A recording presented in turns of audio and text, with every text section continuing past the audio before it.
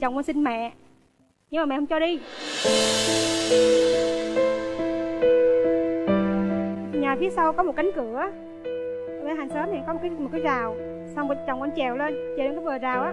Đang mặc cái quần quần, quần đuôi mà. Xong mày kéo xuống. Tụt quần. Trời ơi. Mày kéo xuống tụt quần. Xong rồi à, mẹ nói giờ này mày đi mày đi luôn. Thế là chồng con trèo tường đi luôn. Đi qua thực qua phòng trọ ở pha luôn trong thời gian là ở với nhau một hơn một năm thực ra mẹ cũng thương hàng tháng này mẹ vẫn chu cấp tiền cho có ông cậu nữa còn thảo. Cậu cũng lo lo, cậu ghé phòng cậu cho tiền. Trước đó thì chồng có làm chung công ty với mẹ. Sau rồi chồng mình nghỉ thì vì là không có thì con là người đi làm. Đó hai xong rồi lo tương lai cho, cho hai đứa thôi. Ngay từ ban đầu là cô chưa chấp nhận nàng dâu này. Thì lý do gì để mà cô mua một căn nhà cho anh chị ở riêng cô?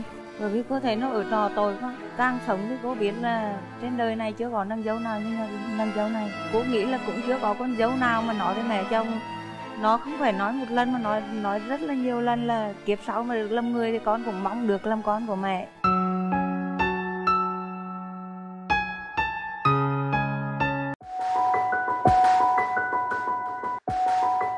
Xin chào Quyền Linh, chào Lê Lộc, chào quý vị khán giả. Tôi là Phan Thu Hiếu, 59 tuổi, cán bộ ưu tí Tôi ở bên Hòa, Đồng Nai à. Dạ, dạ em xin mời chị ạ à. à, Chào chú Quỳnh Linh, chào anh Lê Lộc à, Tên là Hà Thị Kim Tuyền, năm nay dạ. 36 tuổi à, Công việc là nội trợ Chị làm dâu của mẹ được bao nhiêu năm rồi? Ừ, đúng hơn 13 năm rồi Wow cái ngày đầu tiên mà mẹ chồng nhìn thấy con dâu của mình thì cảm nhận về cô con gái thế nào cũng xin báo cáo với các bạn là lúc đầu tôi nghe nói là con dâu làm việc ở nhà hàng, thì gia đình tôi là, công chức thì tôi cũng thích ừ, cái nghề nghiệp của con dâu, cho nên là tôi cũng à, bữa tôi đi tiếp khách công ty ở dưới dưới chỗ quán ăn thì tôi thấy mấy người bạn tôi bảo là, cái bàn ăn bên cạnh có con dâu của tôi. Thì tôi nhìn sáng thì thấy ngồi với mấy người Hàn Quốc thì tôi chỉ nhìn sáng thôi, bởi vì tôi cũng thích rồi, cho nên cũng quan tâm là cô đó xấu hay đẹp hoặc thế nào hết. Nhưng mà ít bữa sau thì thấy con trai đưa về, thì tôi hỏi con đã biết uh, thằng tấn thế nào chưa?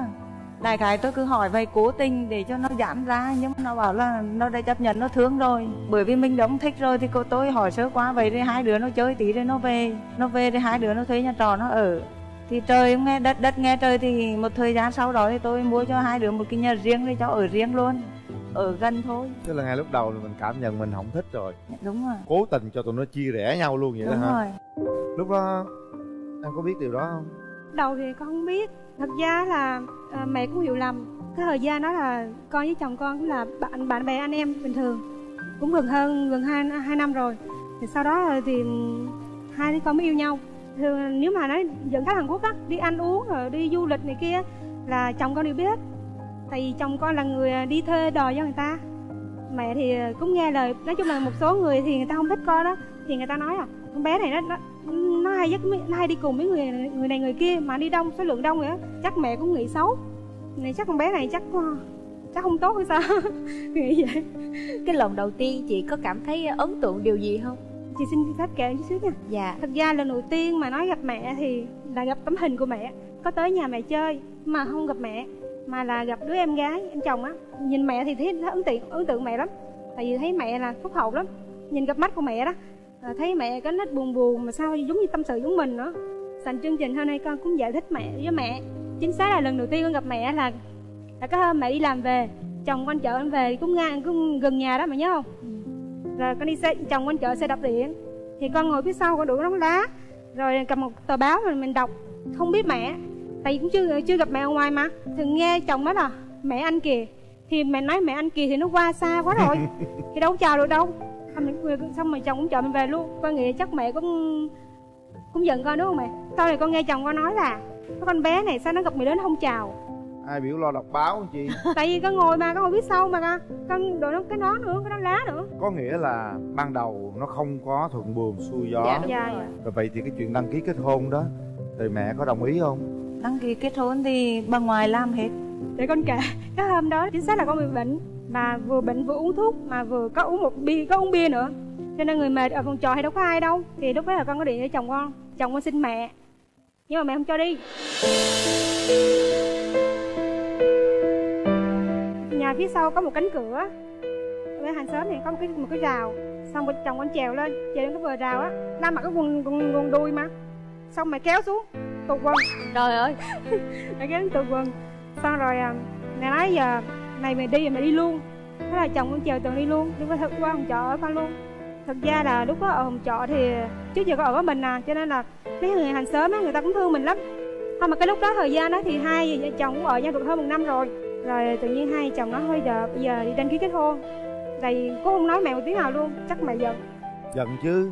Rồi rồi rồi làm sao mẹ biết được? Sau này mới biết được cái khi mà mua cho hai đứa một căn nhà hai đứa về ở rồi, rồi mới biết được thì cũng phải chấp nhận thôi. Trong thời gian là ở với nhau một hơn một năm thực ra mẹ cũng thương. Hàng tháng là mẹ vẫn chu cấp tiền cho có ông cậu nữa còn thảo. Cậu cũng lâu lâu cậu ghé phòng cậu cho tiền. Trước đó thì chồng có làm chung công ty với mẹ. Rồi sau rồi chồng mình nghỉ thì vì là không có thì con là người đi làm. Đó hai xong rồi lo tương lai cho, cho hai đứa thôi. Ngay từ ban đầu là cô chưa chấp nhận nàng dâu này. Thì lý do gì để mà cô mua một căn nhà cho anh chị ở riêng cô bởi vì cô thấy nó ở trò tội quá. Càng sống thì cô biết là trên đời này chưa có nàng dâu nào như nàng dâu này cô nghĩ là cũng chưa có con dâu nào mà nói với mẹ chồng. Nó không phải nói một lần mà nói nói rất là nhiều lần là kiếp sau mà được làm người thì con cũng mong được làm con của mẹ.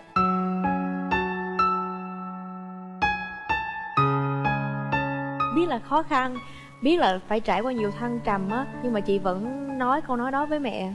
Nói thực ra là từ nhỏ à, ba mẹ chị ly hôn. Chị ở với ông bà ngoại mà nói chung cực khổ lắm lúc năm mấy năm tuổi thôi. Ừm, ba mình thì cũng không nuôi tới mẹ thì cũng bỏ đi vậy đó ở nhà bà ngoại thì mà thời đó không có cơm ăn luôn á. Được ăn thì được ăn cháo thôi mà cháo mà nước lọc lấy lòng rác à. Con mà ăn chuối bơm ăn bắp đỏ mà bắp đỏ khô á mà mà hấp lên ăn á. Nói chung cực lắm rồi xong nhớ mẹ quá. Từ hôm đó mẹ về, cứ xin mẹ đi theo mẹ. Thì đi theo mẹ thì cũng ờ, mẹ cũng giận đi, cũng cách nhà cũng khoảng mấy cây số thôi. Mẹ cũng đi làm thuê cho người ta, mẹ đưa vô chùa. Thì có hôm đó có một con bé nó cũng bằng tuổi luôn, hai đứa bằng tuổi sư á chị nhận có một con bé kia thôi. Sư không có nhận chị. Nhưng mà vẫn cho ở chùa gần một năm. Có hàng ngày vẫn ở trong chùa rồi ăn cơm ở chùa. Cháo bắp luộc á. Mới ờ, hoa bàn thờ là hầu như là lúc ngày nào cũng ăn cái đó. Sư mới nói là kiếp à, kiếp này là con chưa có tu được. Thôi bây giờ con ráng trả nợ đời đi. À, kiếp sau con mới tu được. Xong hàng ngày vẫn ở đó. Rồi đến năm à, gần 7 tuổi xong rồi má mới cho về đi học. Và thời gian đó thì má cũng lấy lấy chồng hai đi làm kiếm tiền tự đi học đóng tiền học luôn. Đến bây giờ tính ra là cũng ba mấy năm rồi má cũng chưa mua cho một cái gì món quà cả.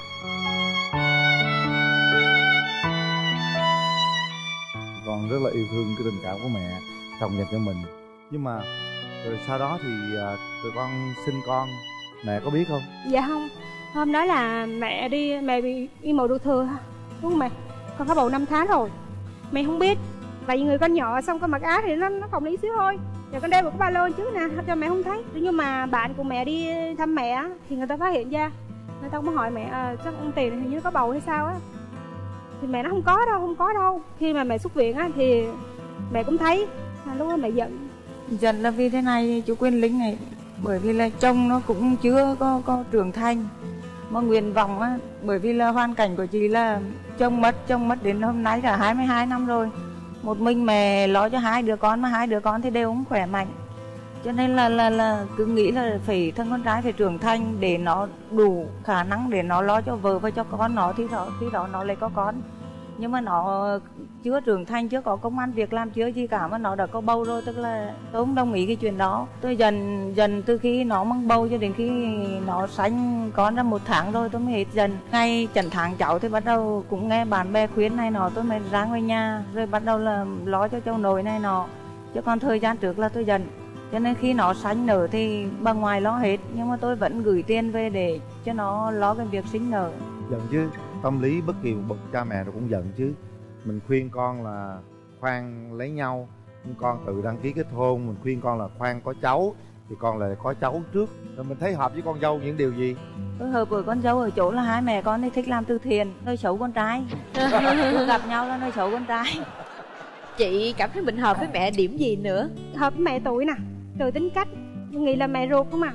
Mẹ mua cho, cho từng bộ đồ mua cả nước hoa tại vì hai mẹ con giống nhau sở thích nước hoa lắm thích làm đẹp nữa. Cho nên là ừ. mình có bao giờ mình về mình ở chung với mẹ một ngày nào đó hay một khoảng thời gian nào đó chưa chị?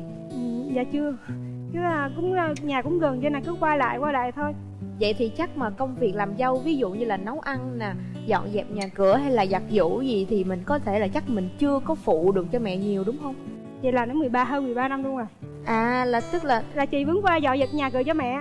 Cái thời gian rảnh á là chị cứ qua và dọn dẹp cho nhà mẹ vậy đó. Sắp xếp đồ đạc cho mẹ cho em chồng nữa.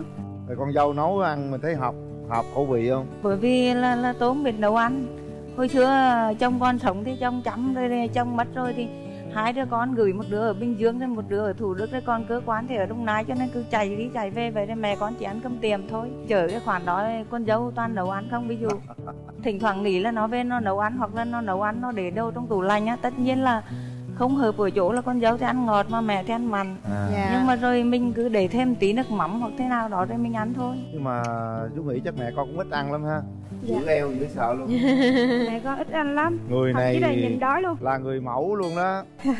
Có hợp thời trang với con không mẹ nói con nói. Thôi vậy thì xin lỗi cho tiết lộ tí tức là cái tủ quần áo của con thì con bảo là 80% phần trăm là đồ của mẹ rồi tức là mẹ cứ đi mua đồ về trẻ quá không thích là mẹ cho con hết. Lâu dài thì con không mặc được cái con đâm là tủ của con là toàn đồ của mẹ không? Chà đỡ quá chị ha. Đồng hồ đéo hay dầu thơm này nó là mẹ lo cho con hết. Ông cháu ông con nữa thì mai một không lo được cho châu nội cho nên là giờ cứ một một tháng là tôi để dành cho châu nội một triệu. Mà giờ châu nội 6 tuổi rồi mà đến lúc châu nội thì học đại học là đủ tiền để học đại học. Quá ngon. Wow. Năm 12 tháng 6 Ừ. năm rồi. Từ từ số đó lớn lên rồi gửi tiết kiệm nữa. Nhưng mà cô ơi đến thời điểm này thì có điều gì ở nàng dâu mà cô chưa hài lòng không? Cô chưa hài lòng ở chỗ là nó sạch sẽ quá nó kỹ tính quá với lại nó làm nhiều quá nó không dành thời gian cho bản thân nghỉ ngơi. Ví dụ ăn á, nói chung quyền chú quyền lính nghe là nó ăn mỗi buổi sáng nó ăn có 10 ngàn mà chồng nó là 100 ngàn. Nó cứ sống kiểu đó thử hỏi sao mình dần phải nghĩ đến bản thân mình mới, mới nghĩ đến những người xung quanh được chứ. Đằng này á, nó hy sinh hết cho chồng con cho mọi người mà nó như vậy đó. Buổi sáng nó ăn có 10 ngàn tiền xối đó hai long ở cái điểm đó. Cái tính của, của chị đó hay lo xa là một hay nghĩ tới người khác cho dù người ngoài cũng vậy. Mình lúc nào mình cũng thí dụ như người ta cần giúp đỡ hay là mình giúp là mình không có suy nghĩ tới là ờ, giúp người ta là giúp lại không có giờ suy nghĩ gì đó. Còn chồng cũng vậy. Chồng là tính ra mười mấy năm hay là hầu như là không biết nấu ăn. Có chị nấu thôi nhưng mà không biết nấu. Duy nhất có một lần là hôm mới đẻ đó là nó có nấu con người nam mà thì con ăn vừa vừa ngọt vừa mặn. Mà không nhờ có nhờ chồng kho cá mà kho cá gì mà toàn đường không mà ngọt mà không có mặn. Ăn không được xong rồi từ con xuống con là nấu ăn luôn. Có bao giờ mẹ chồng la nàng dâu chưa? Không con trai mà về mẹ tôi nâng dâu á. Tôi lầm lỡ luôn chứ mà con dâu mà mẹ tôi con trai là tôi la con trai. Quá trời thương rồi. Mẹ còn thấy còn để ý tới con dâu có ăn 10 ngàn hoài thấy không? Vậy chứ mỗi bữa sáng mẹ ăn nhiêu mẹ. hả? Mẹ năm. ngàn. Mẹ không ăn ủa vậy kỳ vậy? Con dâu ăn 10 ngàn mẹ la vậy cuối cùng mẹ đâu ăn đâu. Bởi vì sống một mình đâu có ai quản lý đâu thích ăn ăn không ăn thôi. Con kể con kể chú nghe nè hôm đó mẹ bị bệnh hôm đó con đi làm về thì con ghé biết mẹ bệnh mà thì sáng hôm đó con kêu chồng con mua phở cho mẹ rồi ăn rồi. Đi làm về mà xong rồi con ghé rồi con kho cá lóc cho mẹ để giờ mẹ ăn cơm. Tính của mẹ là mẹ lười nấu lắm. Thà là mẹ nhịn thà mẹ ăn mì gói. Thực ra là hôm đó cuối cùng mẹ ăn mì gói thiệt nhưng mà mẹ ăn có nửa gói à tha chung luôn nhưng mà ăn nửa gói trừ nửa gói lại để chưa ăn. Xong rồi nghe thấy con dâu về cái đem cái, đem cái nồi mì ấy đi giấu trong nhà trong buồng á. Thì chồng mới nói à trời ơi, mẹ nghe em về cái mẹ đem giấu mì mẹ sợ em đi độ cuối cùng mẹ không không, không ăn. Hai ngày sau luôn rồi mẹ đi chuyển hai chai nước bị rồi mẹ. Vậy là hơn cái số tiền ăn sáng luôn. Dạ. Không phải là không muốn ăn hay không ăn mà muốn giữ dáng thôi. Giờ đi thi hoa hậu quý bà là đậu chắc luôn á mình có cái sở thích gì không? Sợ thích đi phong trà. Là mình là ngồi cô nghe hát hả? Đi hát. Trời ơi vậy là cô hát được hả cô? Ừ, cô hát nhà- nhạc trình công sơn với nhạc phú quang. Hay quá. Bây giờ là rồi hát bài ngân ngắn của phú quang nha dạ. mẹ là người đầu tiên người đàn bà mãi mãi không bao giờ phản bội, ngay cả khi con ngu dài một đời. Còn mãi với con, vòng tay mẹ âu yếm. Còn mãi với con, nụ hôn ngày thơ ấu mẹ là người đầu tiên, người đàn bà mãi mãi, không bao giờ phản bội. Ngay cả khi con ngu dài một đời, bây giờ mọi cánh phiêu du con tìm về chôn cũ. Bây giờ mẹ đã khuất xa, chỉ còn gặp trong giấc mơ. Để từng chiều lại nghe, lòng con cao thương nhớ. Con gọi thầm, mẹ ơi mẹ ơi để từng chiều lại nghe lòng con cao thương nhớ con gọi thầm mẹ ơi mẹ ơi.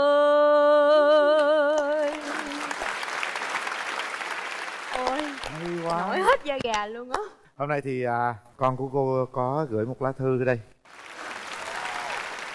Không nhớ là đã bao lâu rồi con không nói con yêu mẹ. Không phải con đánh mất chữ hiếu càng không phải vì tất bật với cuộc sống mà con vô tình không thổ lộ cảm xúc với mẹ. Rất nhiều lần trong tin nhắn gửi đến mẹ con đều nói con yêu mẹ. Nhưng rồi con lại xóa. Con thấy có lỗi và cảm giác xấu hổ khi gửi đến mẹ ba từ này, bởi vì ở độ tuổi của con, đúng ra mẹ phải được an nhàn, tuổi già. Sự buồn rầu luôn thể hiện trên gương mặt của mẹ. Trong lòng canh cánh, nỗi niềm, lo lắng, vì đứa con vẫn chưa thực sự trưởng thành như mẹ mong muốn. Con xin lỗi mẹ. Mong mẹ hãy tha thứ cho con. Con sẽ cố gắng thay đổi để mọi thứ trở thành tốt, đẹp hơn mẹ nhé. Mong muốn của con là mẹ luôn luôn chú ý đến sức khỏe của mẹ đó. Vẫn là một à, người nữa. Con nghĩ cũng cùng chung suy nghĩ nỗi niềm như mẹ. Đó là vợ của con đó mẹ. Người đã luôn bên con suốt bao nhiêu năm qua và cũng chịu không kém biết bao nhiêu gian khổ trong cuộc đời này. Mình ơi anh thật lòng xin lỗi em. Em đã chịu đựng quá nhiều những cái biến cố trong cuộc sống. Mong muốn của anh là em hãy cố gắng kiềm chế bớt cái sự nóng tính của mình. Anh nghĩ như vậy thì sẽ hiệu quả hơn trong việc dạy dỗ con cái em à anh thương mình và con nhiều lắm đó. Mẹ ơi con yêu mẹ. Một bức thư à, đầy cảm xúc. Cô nghĩ sao về lá thư này? Khi mà chị đọc cái lá thư này thì chị cảm nhận là anh đã trưởng thành chưa? Anh đã thay đổi nhiều so với trước kia chưa? Nói thay đổi thì chắc cũng không nhiều đâu. Cũng gần 40 tuổi rồi mà vẫn còn ham chơi lắm tin bạn bè lắm. Thậm chí cái xe máy thôi mới đây cách mấy tháng với nhiêu. Bạn nói không có tiền là đi cầm xe máy cho bạn luôn. Rồi đây con trai sẽ thay đổi thôi. Cảm ơn à, con hôm qua tặng cháu. À có quà tặng đó. Trời ơi. Ồ, ôi cha nặng dữ à. À, mẹ tặng con cảm ơn mẹ. Mẹ ơi mẹ có thể ờ, bật mí là gì không mẹ? Con mời đi. Rồi dâu thơm. Dầu thơm. Trời ơi trúng gu con dâu rồi. Chú cũng khoái dầu thơm lắm con cũng khoái. Cho sự ké miếng. À, gửi tặng một kỷ niệm để à, nhớ ngày mình tham gia mẹ chồng nàng dâu nha. À, xin mời cô giới thiệu về mình ạ. À, cô tên là Cao Thị Hồng Nga Năm nay cô 54 tuổi, cô đã về hưu và cô ở nhà bè Dạ. Anh đây là cô dâu của cô cô. Xin kính chào quý vị khán giả đang xem đài. À, Chào hai MC à, Tôi xin tự giới thiệu tôi tên là Vũ Thị Kim Liên. Năm nay tôi 32 tuổi. Công việc của tôi hiện là giáo viên mầm non. Tôi đang sống và công tác tại nhà bè. À. Hay à, cô đẹp quá lộng lẫy quá. Lòng lẫy quá. Quý phái sang trọng quá. Hôm nay cô có thể cho khán giả được biết rằng là cái ấn tượng đầu tiên mà cô gặp cô dâu đó như thế nào? Trời ơi, đâu có ấn tượng gì đâu. Hai nhà nó sắc dách luôn. Không. trời ơi không phải nói tiêu đều yêu nhau từ lúc mở chuồng à chơi nhau từ hồi nhỏ luôn á đúng hả rồi tại nhà cô với nhà con dâu cô là sát dách. Ừ, cứ qua nhà chơi thường thường vậy thôi đâm ra nó không có ấn tượng còn chị? thì từ bé là mình đã sống ờ, gần nhà mẹ chồng. Nói chung là cũng biết là cái thằng đó là con của cái bà này nè. Vậy thì cái cái cảm nhận của chị đối với mẹ chồng là như thế nào? Thì nói chung á hàng xóm mà cái mình thấy cái cô này nè trời sao cổ dữ quá. Rồi cổ lớn tiếng nữa. Cổ đi làm thì thôi nha chứ mà cổ mà về tới nhà là mình nghe cổ la chồng la con bên đây là mình nghe mình nói trời bà về rồi đó. Bà đi làm gì tới đây vậy đó Ờ, nên là thấy cũng hơi dữ dữ. Dữ dữ. Dạ. Lúc mà chưa làm dâu á có lần nào vô tình căng thẳng với nhau không? Cái cái nhà hàng xóm này nè nói chung là cũng ờ, dễ thương. À, ví dụ như là trời mưa thì cũng lấy đồ vô giùm nên là cũng không có gì gọi là xích mích với cái người hàng xóm này hết á. Vậy đỡ quá. Dạ. Lỡ rồi đó mà có có thường ở dắt kế dắt nhau cũng hay cãi nhau lắm nha. Dạ. thường luyện đồ gì qua hay là rầm rầm gì bên đây đó là dễ có xích mích lắm á. Vậy là may mắn quá rồi hả? May mắn không có bị xích mích. Dạ cô, cô kiểm tra cái dắt mình nó có khoét chỗ nào không? Không không có khoét. Nguyên si luôn. À, cô thích điều gì nhất ở con dâu của mình? Thích con dâu này là nhanh miệng và khéo léo và rất chi là ngọt.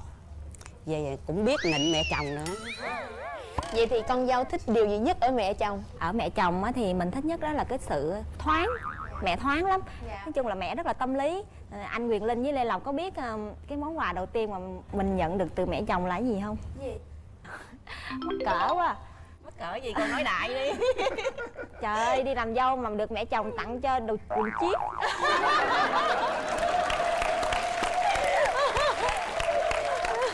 Ủa cái món quà đó ý nghĩa gì vậy cô? Cô ý cô muốn nói lên điều gì? Ý nghĩa của cô là muốn nói á là mình lập gia đình nhưng mình cũng phải ăn diện từ bên ngoài lẫn bên trong. Hay quá. Quá là tâm lý bên ngoài đẹp thì bên trong cũng đẹp. Vậy cho con hỏi tí xíu nha. Hai mẹ con có khi nào cãi lộn với nhau chưa? Con nói đi. Cãi thì con chắc là không có đâu. Tại vì hai mẹ con nói chung là cũng hay thủ thỉ lắm. Ờ, cái tính mình thì được cái hay mét lắm. Anh xã mà lỡ mà có đi nhậu hay là về trễ hay là gì đó là alo cho mẹ liền nên là chắc cũng không có đâu hả mẹ? Con dâu này rất chi là khôn. Dạ. Mỗi lần mà chồng đi nhậu hay là hai vợ chồng có uống khách gì đó là gọi điện cho bố chồng hoặc là mẹ chồng. Mét chứ không chứ không trực tiếp nói với chồng mà gọi điện cho bố chồng mẹ chồng. Ý là nói là con của mẹ con sẽ giao cho mẹ mẹ tự xử. Trời ơi. Vậy thì cô ờ, chắc chắn cũng sẽ có một cái điều gì đó không hài lòng về con dâu của mình. Cô không hài lòng về con dâu là về nội trợ con dâu rất chi là kém giỏi về việc khác nhưng mà riêng nội trợ thì thì hơi kém. Nói ngay ra là cũng hơi buồn nhưng mà về sau cô cũng ờ, cải thiện được một ít. Cũng mới cải thiện một ít thôi à. mới cải thiện được một ít. Thì cô có một cái kỷ niệm là cô đi làm về cô thấy hai vợ chồng thì cũng dọn cơm. Cá cũng kho tiêu canh rất chi là ngon. Thế là cô ăn một hai miếng cô thấy vừa ý lắm rất chi là hài lòng về con dâu. Thì ăn xong thì nghe con dâu bảo là ông xã con mua đấy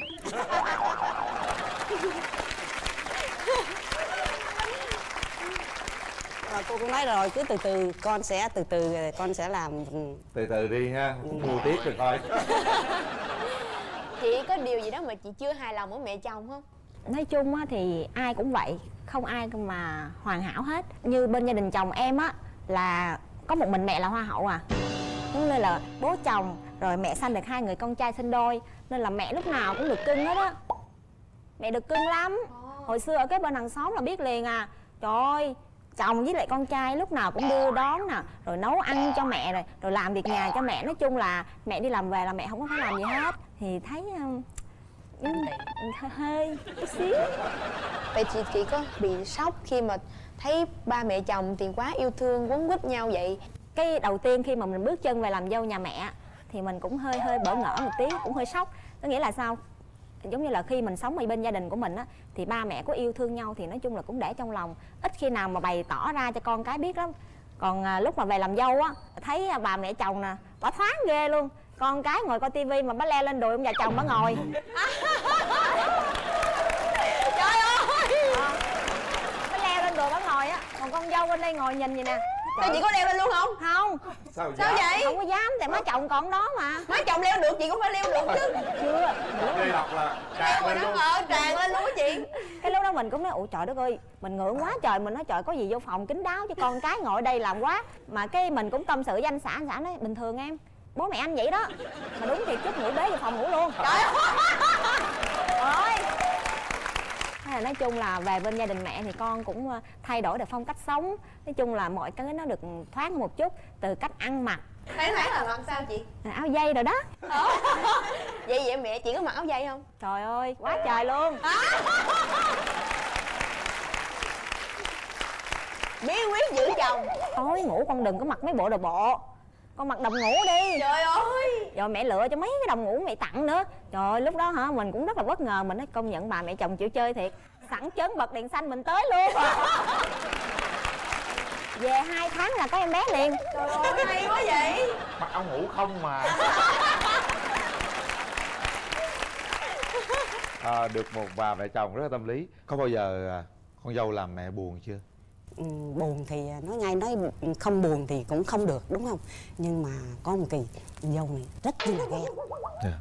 ghen chồng cực kỳ. Thì có một lần đó là ừ, ừ, cũng mới sanh con cô đi ờ, trực hay sao á nhậu về. Chắc con hai vợ chồng cũng lời qua tiếng lại thì mới sanh mà người nó đang nóng á. Rồi cũng buồn tức rồi cũng giận hai vợ chồng với hơi gây cãi nhau. Xong rồi thấy dâu gọi điện nè mẹ ra đây nè. À, con nói mẹ cái này nè. À, con trai của mẹ con trả về cho mẹ. À, trời ơi. Trời ơi nghĩ mà kêu chứ anh ơi anh hai vợ chồng nó làm sao á? Ông bà ngoại đi về quê. Mà không biết sao hai chồng nó làm gì mà con vợ nó la tôi quá trời luôn. Trời. Ờ, ờ để tôi vô chồng rồi sao. Thì vô thì thấy đang đứng ở trên cầu thang. Mẹ à, anh nó đi hả? Trực xong rồi anh đi nhậu luôn. Con sanh ở nhà lớp thì con cái anh không có về dòm ngó gì hết. Là cô không nói năng gì. Cô chỉ ngồi cô nhìn thôi. Nhìn cái hành động của con dâu thôi xong là bữa là biết cái tính con dâu là nó nóng. Thì thế là cô cứ ngồi làm thinh luôn. Con trai cũng ngồi ghế luôn. Cô không nói một lời nào. Nó nói đã đời nói đủ thứ hết rồi. Cô nói nè rồi xong chưa? Giờ con trả con trai về cho mẹ đó. Cho anh về ngoại đi. Mẹ làm gì đó mẹ làm. Cái à, cô mới nói giờ nói đủ rồi phải không? Nói đủ. Là lúc đó là cô buồn dữ lắm đó. Nhưng mà cô không nói. Tại vì biết con dâu nó nóng tính lắm. Cô về kêu con trai về. Thì lúc đó cô về là 6 giờ.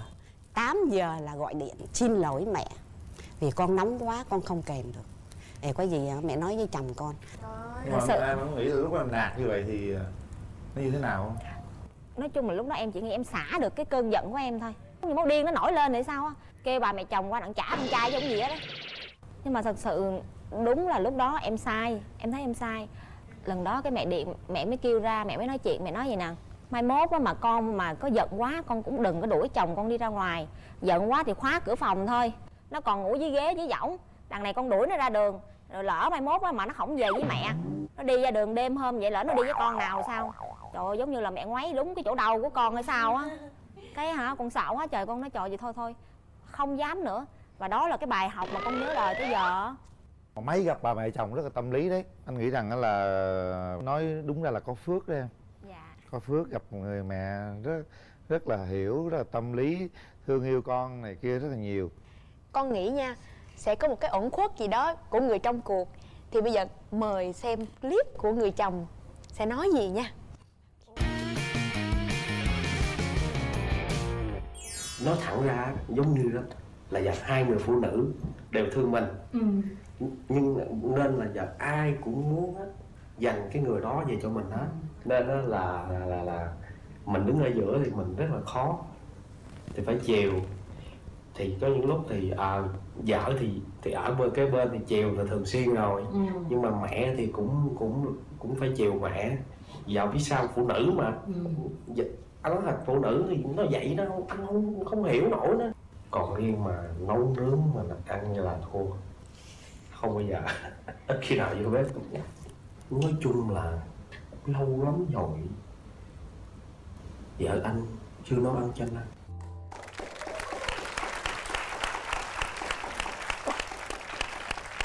vấn đề thấy ở đây á thấy tội nghiệp chồng á lâu quá có nấu ăn cho uống cho chồng gì đâu. Em không biết là do đặc thù công việc hay như thế nào đó. Tại vì em là giáo viên mầm non nên là em rất là thích quét dọn. Em đi tới đâu em dọn tới đó nhưng mà em không thích vô bếp không biết tại sao á. Còn ai bày đi chén em rửa hết cho. Một đứa thì nấu ăn một đứa thì dọn dẹp nên là được cái nó cũng êm xuôi lắm anh. Đó là những cái điều chia sẻ hết sức là thật tình. Nhưng mà chắc chắn rằng à, sẽ có những cái mong muốn để thay đổi tốt hơn. Vậy thì cô muốn gì cô con dâu của mình thì à, giờ cô cũng chỉ à, muốn à, con đó là nên đi học nấu ăn để nấu cho chồng và con thưởng thức để còn giữ được cái hạnh phúc sau này. Dạ. Thì em sẽ cố gắng khắc phục cái điểm yếu. Ừ. em có mong muốn một cái gì ở người mẹ chồng không? Thì nếu mà phải cần mẹ thay đổi một chút xíu á thì con cũng chia sẻ chân tình. Thì thôi bây giờ thì mẹ bớt làm cái nhân lại chút xíu. Bây giờ mình cùng chia sẻ cho bố với cho chồng mình nó bớt đi một chút. Thì con cũng chia sẻ như vậy dạ. Bây giờ thì chúng ta sẽ nghe những cái lời gửi gắm của anh xã Hải với à, mẹ ruột và con dâu. nha. À, ví dụ như không thích cái gì muốn cái gì mẹ cứ kêu vợ con ra nói thẳng. Đó là thứ nhất nếu mà vợ con sai chuyện phụ nữ của hai người thì hai người tự giải quyết. Đừng lui hả người đàn ông khổ sở đáng thương này. Cứ hả yêu thương hả nhiều hả con dâu là ok. Dễ thương quá. Cảm ơn à, cô. Với lại à, em đến đây đã chia sẻ về à, những cái điều mà rất là nhiều người cần là học hỏi đấy. À, hôm nay thì à, nhân dịp à, gặp gỡ thì à, em hứa gì với mẹ với những cái mong muốn nãy giờ chồng em nói? Qua chương trình này con cũng rất là cảm ơn mẹ thật sự thôi đừng có khóc mà cứ nói đi. Cảm ơn mẹ là đã đẻ ra một người con là ông xã con bây giờ. Yêu thương con. Con biết là những lúc con nóng giận nhưng mà thật ra là tâm con không có ác. Rồi mẹ hiểu. Thì mẹ cũng à, à, cũng muốn con là những cái gì mà sai thì phải sửa và phải nên đi học nấu nướng ăn uống nấu cho chồng con ăn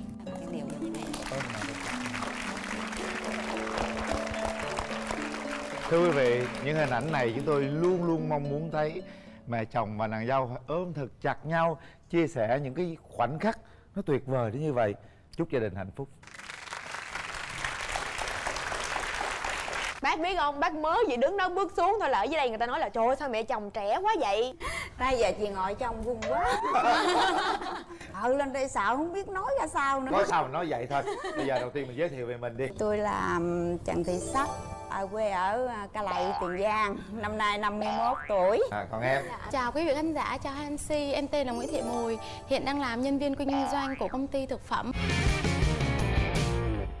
à, cô con được phép hỏi là cái dịp gặp đầu tiên của cô đối với con dâu của mình là nhân dịp nào? Hai đứa nó học chung một trường cao đẳng nó quen. Thằng con nó mắc cỡ hay gì nó không có kể cho cô nghe. Anh đi chơi với mấy thằng bd không? Trời ơi mình cũng lo trong tâm mình. Mình có một đứa con mà con mình nó đi chơi chung với mấy thằng bd không? Quỷ lỡ rồi nó không chịu cưới vợ luôn rồi sao? Cái về cứ đốc hoài đốc hoài đốc viết tới năm phong nó 26 tuổi nó chịu cưới vợ đó là tôi mừng dữ lắm.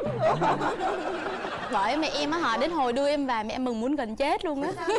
Dạ tại anh ấy cũng hơi yếu đuối. Bà có yếu đuối thiệt không? Trời ơi mạnh muốn chết Vẫn Trời ơi nói mà con ngượng luôn á Không người đàn ông mạnh mẽ chứ không con hiểu con Thì ai biết đâu. hiểu cái gì đâu không Chị à. nói mạnh muốn chết. Không hiểu vậy cũng không nhưng mà hiểu vậy cũng không có sao. Gặp lần riêng đánh giá thế nào? Về lần đầu tiên thì thấy mùi nó cũng còn nhỏ nó mặc nguyên chiếc áo đầm nó cắt tóc ngang nó cũng xinh nó cũng đẹp lắm. Phòng nó mới nói là mùi ơi em ở nhà chơi với mẹ đi anh đi xuống dưới chợ tôi mới đi ra ngoài sau á cho heo ăn cái mùi mới theo ra. Mà ở dưới quê mình á thì người ta hay có cử là đi ra chuồng heo á thì không có được nói gì hết. Mùi ra nó trời ơi ở ngoài quê con á hả bà nội con nuôi cỡ này là mừng thịt ăn hết rồi. Mà trong khi đó hả mình nuôi mùi con heo mùi con heo là gia tài của mình mình ở quê mà. À, Em đâu có biết cái vụ mà ngoài quê quê chồng em là cái vụ mà đi ra chuồng heo mà không được quả đó đâu. Đâu có biết quê em đâu có đâu biết. Từng tháng sau cái chồng em mới nói em em á hả đền bù thiệt hại cho gia đình anh đi. Cái em mới nói thiệt hại cái gì ạ anh kêu chưa? Em ra chuồng heo á em quả con heo nhà anh thế này kia. Em đâu có nói gì đâu em chỉ nói con heo nhà anh bự quá thì ngoài quê em thì bự thì thịt thôi chứ không lẽ để anh làm gì? Cái anh kêu chứ đó bây giờ em quả được là mấy con heo nhà anh bây giờ nó chết hết rồi. Giờ chết hết rồi em có tiền em gửi vào dưới trả đi. Rồi cái lúc đó em cũng lo lắm chưa? Rồi xong lần đầu tiên mình tưởng về là hoàn hảo dữ lắm. Ai dè đâu bây giờ? Thôi rồi mất điểm rồi. Em suy nghĩ có khi nào mà hả mẹ chồng khó mẹ chồng không muốn cho cưới. Chồng em nói không sao đâu dễ thương lắm nhà nhà anh ai cũng dễ thương lắm Ừ. không phải lo gì hết. Nhưng mà sau đó thì mẹ chồng cũng quên cái chuyện à, à rồi mình cũng đâu có nghĩ gì biết con bé này nó thiệt tình. À, đó là ấn tượng lần đầu tiên gặp mặt ấn đúng không? tượng lần đầu tiên. Chị cho em hỏi tí xíu nha là từ cái thời điểm mình quen nhau đến khi cưới là bao lâu? Dạ tụi em quen nhau 7 năm rồi đến khi cưới là tới nay nữa là 8 năm có một em bé 2 tháng. Nhưng lần đầu tiên thì em thích mẹ cha- chồng em những điều Trời gì mẹ chồng em giống như miền Tây vậy đó Thiệt thà, dễ thương, có gì nói vậy vậy đó. Mà từ trước giờ em chưa thấy mẹ chồng nào mà dễ như vậy luôn á.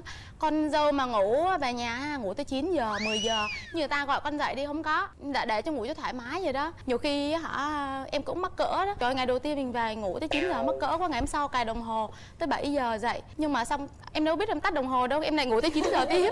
Cái mẹ em cũng không có gọi dậy luôn Mà mẹ em dậy nấu ăn làm đồ ăn hết cho tụi em vậy đó rồi đi mua đồ ăn sáng cho hai vợ chồng em. Kể ra thì mắc cỡ. Vì em còn sợ ma nữa chứ. Em thì từ đó giờ em có tật sợ ma dữ lắm. Mỗi lần về em sợ ma ha mà chồng em đi nhậu là mẹ em ở nhà đó là mẹ em nằm trước cửa mẹ nằm võng trước cửa đó trông ma cho em ngủ. Dễ thương quá nhỉ? thằng con trai mình nó nhậu mà ở tới 12 giờ đêm không về. Rồi đi vô đi ra thì con dâu của mình nhúc nhích sao nó ngủ được? Tội nghiệp nó. Cái tôi mới nằm với giọng ngay cửa phòng á không có dám đóng cửa phòng nó đóng cửa phòng sợ tối nó sợ ma nữa. Tôi bắt cái đèn sáng lên ở ngoài. Phải nói một câu chuyện rất dễ thương. À, bà già chồng canh ma cho con dâu ngủ. Có phước. à, có phước những cái điều gì mà cô thích nhất ở con dâu của mình?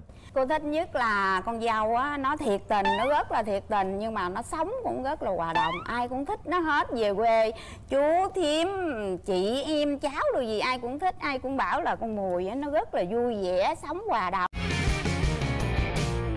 Không biết là trong cuộc sống gia đình chị có gặp khó khăn hay là những điều gì chưa hài lòng về mẹ chồng không mẹ chồng em nói chung là hoàn hảo hết đó, không có gì để chê. Có một cái tật nữa là, không phải là tật nữa mà một cái, một chút xíu yếu điểm thôi, đó là mẹ em tin ông thầy bói dữ lắm.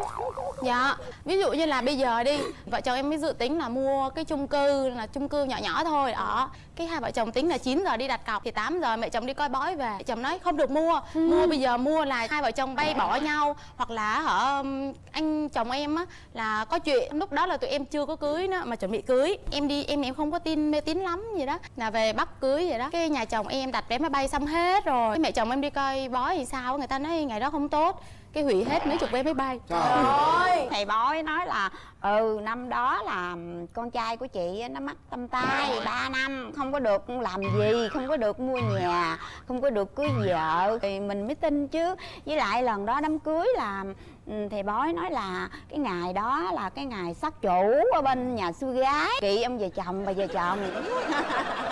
Trời thầy bói đâu hay vậy. nghe. Tôi biết ở ngoài ờ, Hải Ờ, Dương á biết rõ vậy. Biết rõ dữ vậy đó hả? Không thì dở sách ra coi chứ Coi sao tuổi. biết được trời ơi từ đây mà coi Hải Dương Tin gì đoan dữ vậy luôn Tôi có một người con à Mình phải đi xem cho kỹ. Lỡ ra xảy ra có chuyện gì rồi làm sao? Ngày đẻ có coi không? Đẻ mổ rồi Theo như giờ đẻ mổ rồi chắc cũng phải Phải coi. coi. Coi ngày nào tốt rồi mới mổ Nói chứ ờ, tin gì đoan quá thì cũng khổ gia đình á. Tại chú Quyền Linh không có đi coi bói Chứ đi coi bói là thầy bói nói Mình cũng phải tin Tại vì ông thầy bói Ổng có cái gian nói chuyện lắm Ổng mới lấy tiền mình được.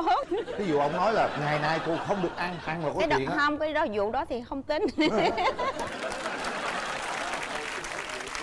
Hình như là nhà mình có em bé rồi đúng không? Dạ. Thì cái việc chăm sóc cháu nó như thế nào chị hai mẹ con có đồng quan điểm với nhau không? Dạ cũng không. Thì theo phong tục ở dưới quê sanh xong á thì phải bắt mùi á là mặc áo dài tay mang vớ chân vô. Rồi ở dưới quê á thì sanh em bé xong rước về á thì phải đốt than hơi em bé mỗi ngày chứ sợ nó lạnh. Con mùi nó đâu có chịu nó nói là mẹ ơi bác sĩ không có cho hơi em bé nữa. Rồi thằng phong cũng không cho hơi luôn là tôi đâu có được hơi đâu ở lâu. Dễ buồn không cô? cũng không buồn tại vì bây giờ bác sĩ nói thì mình nghĩ chắc cũng trúng. Giữa bác sĩ với thầy bói thì cô tin ai? thì cũng tin hết. Tin hết hai mẹ con em á hay tâm sự với nhau lắm ngày nào nào cũng hai mẹ con cũng điện thoại dạ mà gọi điện nó họ cả nửa tiếng một tiếng gì đó. Em không có để trong lòng được. Ví dụ em không ấy cái gì là em nói thẳng luôn. Mẹ em dễ lắm nói chung là em giống như là em nghĩ mẹ em như là mẹ ruột em á nên là em em nói hết. Chứ em không có để bụng nên thành ra hai mẹ con không có gì mà để phải buồn hết. Không đúng hai mẹ con hiểu nhau ghê ha. Dạ hai mẹ con cùng xong kiếm hợp bích kia. Ừ. cái mỗi lần mà chồng em đi chơi hay gì em không có ưng ý em gọi điện em mét mẹ. Mẹ em la chồng em. Cái à, mẹ em nói với cha chồng cha chồng la chồng em xong gọi điện an ủi em gì đó. Trời Trời ơi. Bây giờ con mời bác và chị xem một cái clip của chồng chị ha. À, Ảnh sẽ tâm sự nói về mẹ và vợ mình như thế nào. Nhiều khi em em thấy khó xử lắm nha. Ví dụ như em đứng giữa em với mẹ em ngày xưa là một phe, bây giờ từ khi mà có vợ rồi, cái tự nhiên ờ, mẹ em với vợ em là một phe, em là thành một đội riêng. Đây là một chuyện mà em thấy em ra rìa nhất luôn. Ờ, ví dụ như một bữa kia ờ, lâu rồi, không phải bữa kia mà cũng lâu rồi. Cái bạn em là bạn gái thôi, mà bạn gái cũ thôi. Rủ em đi uống cà phê. Xong, không biết sau đó vợ em nó phát hiện ra cái về chửi em quá trời luôn. Xong, nó điện thoại về mẹ em rồi mẹ em không biết gì cũng điện thoại lên chửi em. Nói tại sao em có vợ rồi mẹ em còn này nọ này kia. Trời ơi em lại em uất ức lắm luôn. Thường thì à, tự tay muốn cho tiền mẹ em nhiêu cho cũng không sao chứ tự nhiên có lần em cho tiền mẹ em em quên nói trước. Xong về liếc liếc liếc liếc liếc em hỏi ủa tại sao anh gửi tiền cho ba mẹ mà anh không nói em một tiếng? Cái lần đó là cái gì em cũng phải nói chung là em phải thông qua một chút xíu. Chắc mẹ em chưa biết á. Chắc qua chuyện này chắc à, mẹ em biết rồi đó. Bây giờ bởi vậy em mong là mẹ chồng em với nàng dâu em mâu thuẫn với nhau có vấn đề gì mà nó nó nó mạnh mạnh lớn lớn xíu đi đàn em ở giữa em giảng hòa đặng cho thấy cái sự quan trọng của em. Chứ bây giờ em thấy em con trai mà em bị ra rìa quá. Trời ơi chưa có một cái câu chuyện nào lạ lùng như vậy. Kêu mâu thuẫn. Mong rằng mẹ chồng với nàng dâu mâu thuẫn để em thấy cảm giác mình à, Quan trọng. quan trọng. Trời ơi chồng em suốt ngày giống như nói xấu mẹ ấy, để cho em em em ghét mẹ đi á. Mà mỗi lần như vậy em lại gọi điện về em mét mẹ mẹ ơi em không có nói xấu mẹ vậy đó. Nhưng mà nãy à, cái vụ mà cho tiền đó đó cái chuyện này cũng rất là nhạy cảm đó. Mỗi lần ví dụ như chồng em đưa tiền cho mẹ vậy đó. Không mà chuyện này nhờ cái này em mới biết luôn á. Nhà ở dưới. Hiểu hiểu hiểu biết luôn. Thực ra là cũng không có gì hết anh. Em thì muốn vợ chồng chia sẻ với nhau rồi Thế không có mà gì cô hết. biết cái chuyện này cô nghĩ thế nào cô đâu biết, đâu giờ này mới biết đó. Nếu như biết thì mình cũng phải nói đàng hoàng ừ con, chồng con gửi tiền về cho mẹ, con hay không? Nhưng mấy lần kia thì chỉ nghĩ là con mùi cỡ khoảng 2 tháng 3 tháng điện về, mẹ ơi, con gửi cho mẹ 5 triệu xài đó nha mẹ. Thì mình mới hay là để vô rồi. Mong muốn của bác là muốn con dâu mình thay đổi về vấn đề gì? Chỉ mong là con dâu mình nó đẻ nhiều hơn mình gấp mấy lần như vậy. Mà dễ gì? Cô này cô nói nghĩ luôn cô không đẻ nữa. Trời ơi mình rất là buồn. Lúc đầu thì em suy nghĩ lúc trời ơi đẻ xong xấu dữ lắm đẻ một đứa thì xấu vừa vừa đẻ hai đứa thì xấu, xấu khủng khiếp luôn. Đến hồi đẻ xong một đứa thì em thấy ham quá thôi đẻ thêm một hai đứa nữa đi. Mong rằng á là bà nội Dạ. sẽ có thêm à, nhiều cháu nữa. Còn chị em cái gì cũng dễ thương hết em không cần phải thay đổi gì hết. Ê, chỉ cần à, bớt mê tín lại chút xíu là được rồi. Dạ. Đúng rồi đó. Cái đó hết sức là quan trọng cô ạ? Ha. Bây giờ thời buổi hiện đại rồi. Ờ, đâu phải cái gì cũng đi xem bói đâu. À, Bây giờ là mình xem cái clip của anh chồng nói về sự mong muốn thay đổi của mẹ và vợ mình nha ơi tới vợ rồi căng rồi nói nói sao bây giờ đừng chửi trời ơi mùi ơi. Ngày xưa thì ờ, ghen tuông sao cũng được nhưng mà sau khi có bé cà phê rồi thì ờ, bớt tính ghen là chút xíu. Cũng như là thông qua chương trình này thì ờ, anh mong muốn em là ờ, biết quan tâm đến ngoại hình của mình một chút xíu. Ờ, nhiều khi cái vấn đề đó rất là đơn giản nhưng mà rất là hiệu quả để giữ lửa hạnh phúc gia đình. Cảm thấy rất là vui khi mà mẹ với vợ rất là hòa đồng với nhau như vậy em mong rằng sau này cho dù bất cứ chuyện gì xảy ra hoặc là ờ, như thế nào đó thì em mong rằng tình cảm của mẹ chồng và nàng dâu của gia đình của mình vẫn như vậy và sẽ tốt đẹp hơn nữa. Chồng em có duyên lắm. Hàng chi là chắc em giận lên rồi nói xong chắc cười đó ha dạ ừm, em tức không được mỗi lần mà mà bực bội dữ lắm hay nha à. em nói nhiều quá anh kêu chứ em cầm ràm nhiều em mau già em xấu lắm á. Em xấu là anh bỏ anh theo người khác á. Nguy hiểm lắm thôi thôi ngu gì xấu. Thôi bây giờ tôi đẹp tôi không xấu nữa tôi không nói nữa. Thôi cái bí quyết nào để mình à, có thể à, giữ cái sự kết nối giữa mẹ chồng với con dâu. Thì bây giờ á mình thương nó như con gái của mình đi.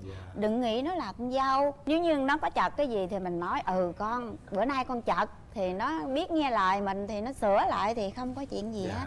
Thầy bói nói cô ơi cô đừng chơi với con dâu nữa. Cô nghe lời không? Không. Rồi cảm ơn câu chuyện rất là vui ngày hôm nay. À, nhân dịp này thì em có thể hứa với mẹ chồng những cái điều mà sắp tới về tương lai? Em em không biết hướng em không biết nói gì nữa nhưng mà em sẽ hứa với mẹ em là tình cảm của em bây giờ dành cho mẹ như thế nào thì sau này mà mãi mãi sẽ như thế thôi không bao giờ thay đổi. Thì mẹ cũng hứa với con là từ nay trở về sau mẹ cũng bớt tin thì bói lại. Chứ không có bỏ được. Không có bỏ